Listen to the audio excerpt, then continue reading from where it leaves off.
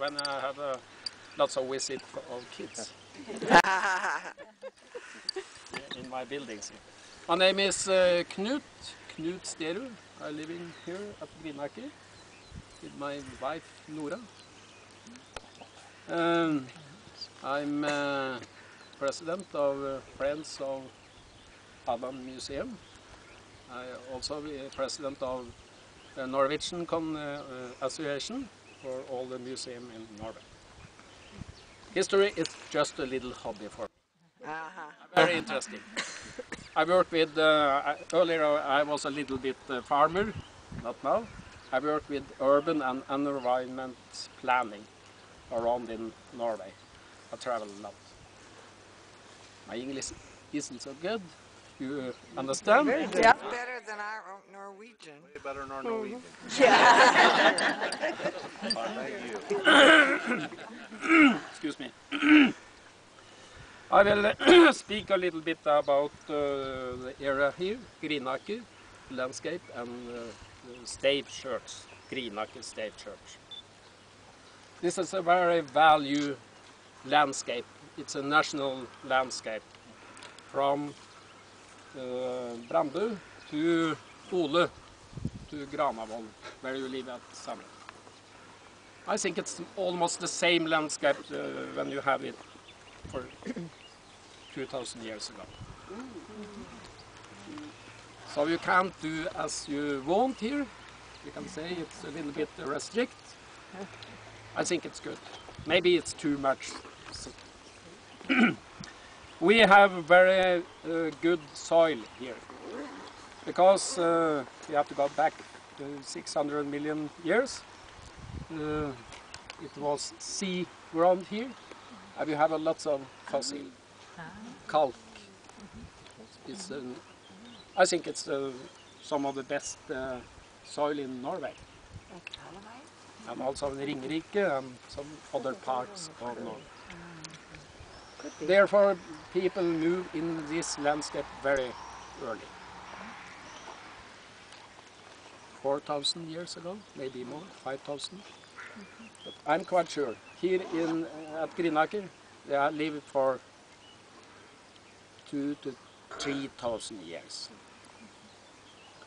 they have found some uh, market in the ground from uh, Christ, uh, about Christ born, quite close here. Um, you can uh, look at this uh, after. This is a great fossil, trilobit. This is some expert here. That's more common.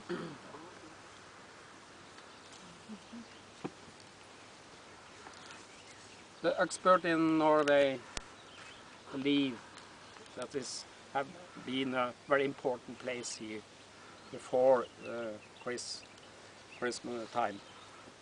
Um, that was uh, the ordinary situation in many places, and they built the church up in uh, Da må jeg ha litt hjelp. Heldig, heldig plass. Holy place. holy place, Ja, holy place. Um, but they built this up, uh, this stave church, and I put uh, tree painting in, in uh, you can see it, in 1100, last part of 1100. It was a very small uh, building. I think uh, five twice six meter, oh. about 30 quadrat meter, and then build it out in the Middle Age, and especially at the 1500 and 1600, because it was a, lots of people.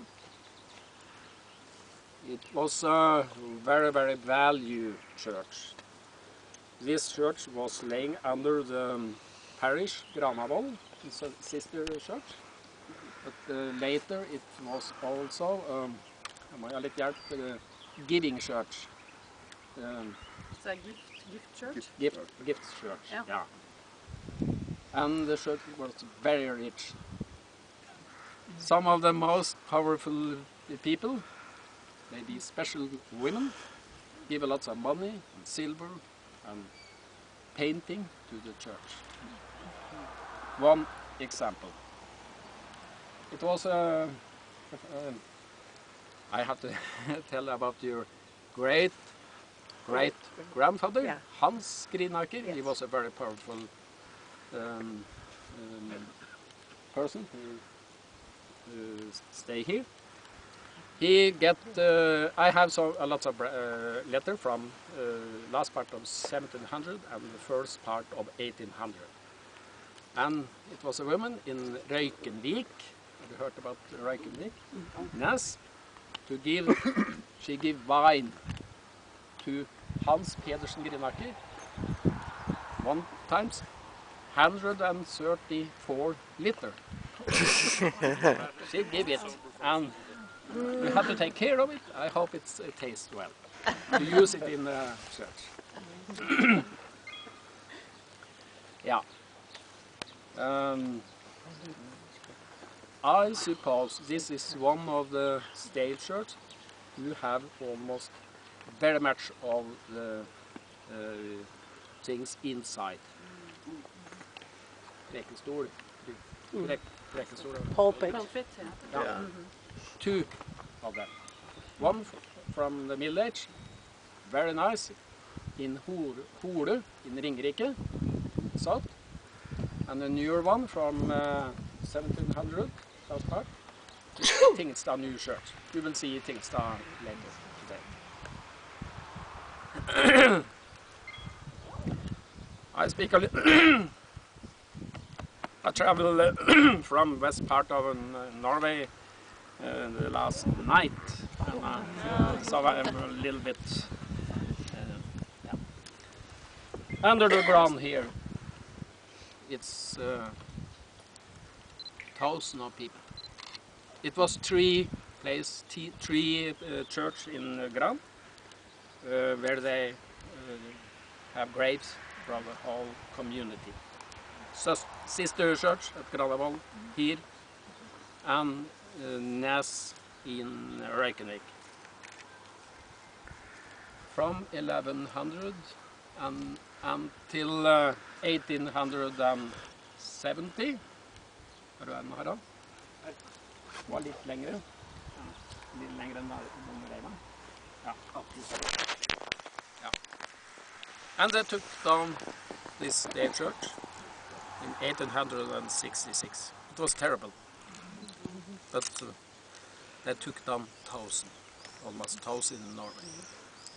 It was a little bit early. Have you wait? Have they wait 30 years? People in Norway had been more smart. it was a lo lot of people. Um, maybe uh, it became uh, some rules at the last part of 1800. So uh, the parish here, the church, had to take care of the people. And you know, At that time, the best people all went to US. That was the reason. Ah. I think all is right. Lots of people, and maybe the best people go to USA. And it was too small. That's the reason. Under this ground, they have um, very simple archaeologic uh, uh, test here in 1961. I think it will be very exciting to make a more uh, uh, examination here later. It's a lot of things in the uh, soil.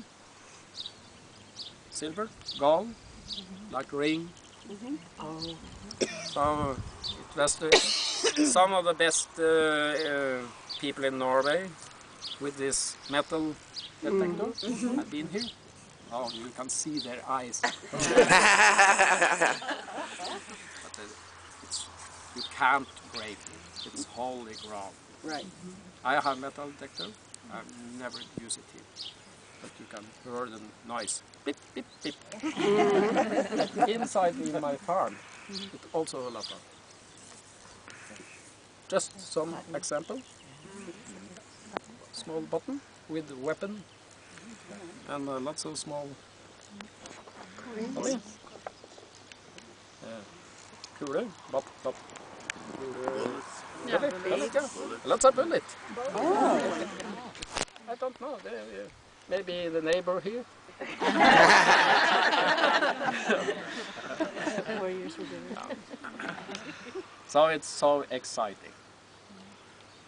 I take care of the old thing and I have a, my own small museum at the timber building here. Mm-hmm. I think it's very in, very important to take care of the history.